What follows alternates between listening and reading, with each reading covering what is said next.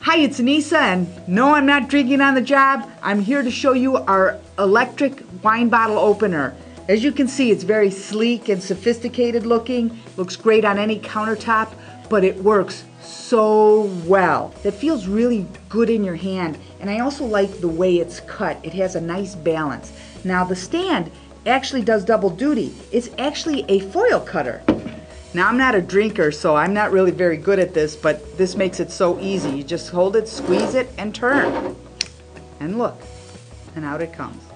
Let me show you how easy it is to open this bottle. Just put it on here. You want to hold the bottle, go all the way down. Keep holding it, and then it comes out. Look at that, it's there. Now to take the cork out, you just push the button the opposite way. And see the cork? And there you have it. This takes four AA batteries that goes in the back. It's very powerful. It's one of the best wine openers you're gonna get on the market. And then when you're done, you just put it back on your stand and store it on your countertop. Grab yours today.